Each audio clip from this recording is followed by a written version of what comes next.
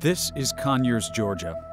For many years, it was here in this farmhouse at noon on the 13th day of each month that people came from all over the world to hear a special message. That message was delivered by this middle aged mother of two who claimed to see and speak to the Virgin Mary. I cannot restrain my son's hands. Nancy Fowler said she had been chosen to deliver a vital message affecting America and the world. Come back to me now while there's still time. Sin breeds sin. If you choose the dark as a sin, then so shall you be in darkness.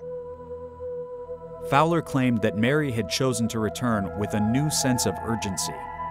Believers remembered that according to theologians, Mary appeared at Fatima in Portugal in 1917 and prophesied the annihilation of nations. From China will come a great war.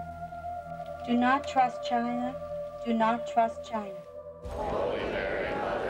Maybe that explained the thousands who converged there every month. Like at Fatima and other revered sites, the people who came never saw or heard the apparition, but many testified to witnessing their own miracles as proof. Again, like at Fatima, the miracles often involved the sun. The sun was a white disk, and there was like a small disk, white disk, going around it, and went around it three times. Here, for the first time ever caught on camera at Conyers, is what many believed was startling proof that miraculous solar phenomena was indeed occurring over Nancy Fowler's house when she got messages from the Virgin Mary. Is this truly proof of a miracle caught on tape? The video was shown to Camcorder Magazine's contributing editor, John Adler, who reviews camcorders of all kinds.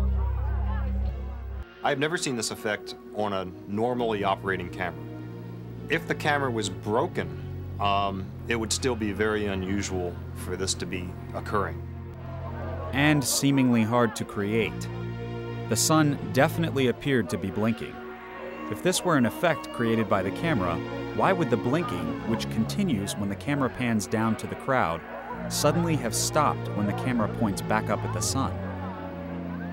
It's not something that you could create just by setting the camera to do it. You'd have to actually take the camera apart, you'd have to know the electronics of the camera in order to make it happen.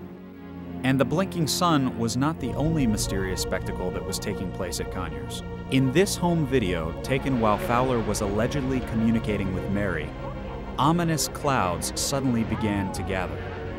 And take a look at this video, which cannot be attributed to the camera. These were actual rose petals, inexplicably falling from the sky. This apparently occurred in the dead of winter. Roseanne Kelly experienced the overwhelming smell of roses which was something of a miracle itself. I can't smell. I walk into a house and I couldn't tell you if somebody was cooking or they weren't cooking, or if you had perfume on or you didn't have perfume on. If you have a lot of people with camcorders photographing events all over the world, that you have an increased chance of getting some very unusual footage, but at the same time you have an increased chance of getting some footage that maybe is not what it appears to be. So it's a double-edged sword.